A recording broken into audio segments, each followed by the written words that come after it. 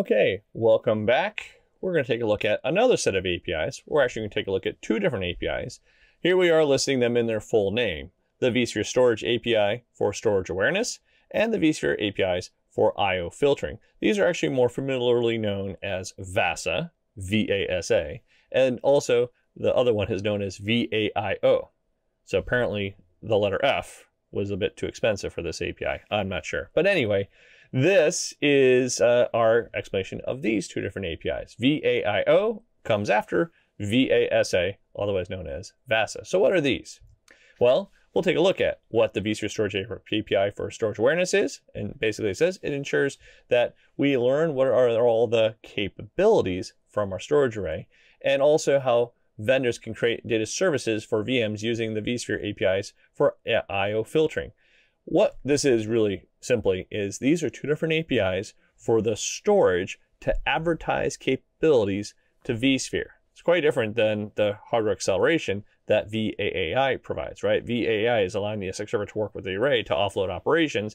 This is about information exchanging to let vSphere learn about what are the capabilities about the storage. And we'll find out why that's important. So our first one here, right? The vSphere API for storage awareness, otherwise known as VASA. You'll hear most people just refer to it as VASA, right? Basically, a storage vendor can develop a software component called a storage provider. Basically, what this is, this is a piece of software on the array that can be used to advertise the array's capabilities to vSphere right? So that what's what's that storage provider? Well, that depends on what the storage vendor implements. The storage vendor may implement this in firmware. The storage vendor may implement this in an appliance the storage vendor may implement this in a virtual appliance. But in any case, it's a way for there to be basically probably a web URL more than anything that vCenter can actually register, be able to log into, and learn about the capabilities of your storage. Right through this API, the provider obtains information about the available storage topology. Right, what's going on behind the scenes at the array level, what RAID levels there are, what underlying disk characteristics? Are the disks um, you know uh, ssds are they hard drives? What's their rpms what's their iop capabilities? What are their throughput capabilities? What's the usage you know has the storage been labeled in any way right? Is it meant to be you know uh, capacity storage? Is it meant to be uh, web usage? Is it meant to be tier one, tier two? You can provide, as a storage vendor, the storage provider essentially, can decide what it is that they're going to advertise through this API.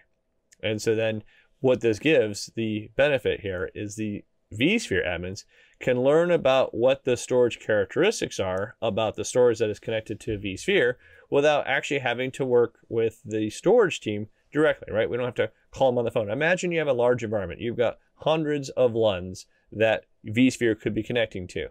And when you look at a LUN from the vSphere client, you can't tell necessarily what are all the characteristics about that LUN, right? You don't even know what RAID it is or what its performance characteristics are. You'd have to basically have a spreadsheet which mapped out each LUN and what their all all their different characteristics are. And of course, this would help then define how would you go and build a data store.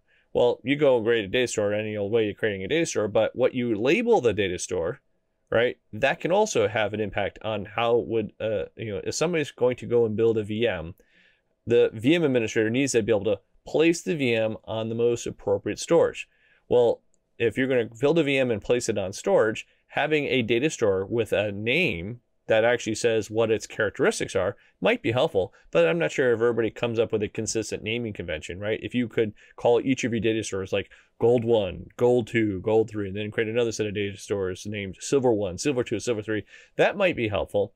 But that's just the name. That doesn't necessarily mean there's actually a real um, meaning behind it. It's just whatever somebody named their data store. If we could actually find out the characteristics by having the storage advertise those characteristics, that would help us out on the vSphere administration side quite immensely.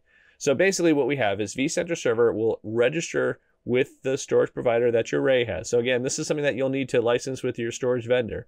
The storage vendor will provide with a VASA provider, and so then you'll typically license it from the vendor to implement this either in firmware or in an appliance or in a virtual appliance. So then now we can learn about all those things on the vSphere side. What this is really useful for is you can then use this information, the capabilities coming from the storage, to determine what kind of storage policies would you like to implement because you'll probably have a whole set of storage options that might be providing things like performance, but it might also, the storage may also provide things like compression. The storage may provide encryption. These are things that we can you know, find out what the backend storage is providing, and then we can decide which of those features would we like to implement into a policy. So this makes it even easier. You might have hundreds of data stores, but they might fit within just a few categories or a few tiers of storage, right? You might have tier one storage that's got the high speed storage. You might have tier two storage that has more standard storage. You might have more secure storage that's being encrypted at the storage level. So you can create policies and then effectively choose the um, the storage options based on which LUNs offer which of those different capabilities. So that's really what the benefits of the storage provider, so that the providers can give your vSphere admins information about the underlying storage capabilities and the state of the physical storage devices. You also can use these storage providers to monitor health and use of the physical storage devices, and very importantly, create VM storage policies so that they have the correct storage in terms of space requirements and service level agreements requirements and so on. Now, VASA has actually gone through several updates over the years. It was first implemented in vSphere 5. That was VASA version 1.0. That was a one-way type of communication channel where the array would advertise to vSphere its capabilities and we could use this to implement storage policies. With vSphere 5.5, update 1 was the introduction to VASA 1.5, which is basically where vSAN was introduced, and vSAN also can participate in the VASA information so that when you build vSAN policies, it can be based on the underlying storage characteristics. It also became a two-way communications channel. Where this is useful is not only can we understand the capabilities about the storage, but when creating policies with the two-way communication, the policy can actually be enforced on that underlying storage. And that's actually where VASA 2.0 came out. With vSphere 6, we got two-way communication with the array. That's a bit different than the 1.5. 1.5 was two-way communication between the, um, the array and the ESXi host. Here we can now have two-way communication between the array and the vSphere APIs. This is where if you're using things like virtual volumes, you can create a storage policy that's based on array capabilities. In fact, in order to use virtual volumes, you need VASA 2.0. The VASA 2.0 will provide the list of capabilities that your underlying storage provides, and then you create a policy that says, I want this policy to have these sets of characteristics.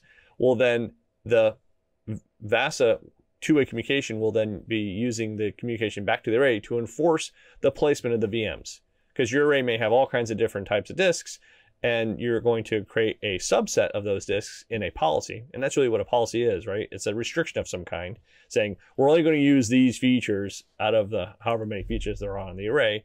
And so we want to make sure that the VM will be placed on the disks that support just those features. Now with VASA 3.0, we now have support for array-based replication for virtual volumes. Also a very powerful feature that was introduced in vSphere 6.5. So the storage providers, right? There's kind of different categories of storage providers. You have storage providers that can provide things such as data services, but there's also storage providers that can provide us with um, you know information about the array. So that's a bit different, but we can learn about what are the different data services. Like for instance, does, does the array offer its own replication, or does the array provide some kind of offloading of uh, say snapshots, or being able to offload encryption? Right? The virtual volume storage provider is an example of the array providing this information. But also, there may be data services that can be provided for vSAN. So there's also the vSAN storage provider can provide those characteristics as well. And therefore, the storage providers may actually come from different locations. They could come from VMware internally, that would be the vSAN storage provider, but they could also come from third parties. Typically, the array's storage vendor is going to be that third party provider for those virtual volumes. So basically one thing you have to do is simply on vCenter, register with your storage provider. So on vCenter server, you go to the vCenter service configuration page, select the storage providers link, tell it you want to create a new storage provider, and then provide the URL to the storage provider that's being provided by your storage system. They probably will require you to put in some credentials, and you're going to need to give a name to this storage provider. So we'll take a quick break here, and we're going to come back and take a look at the other API here, called APIs for IO filtering. So stay tuned, we'll be right back.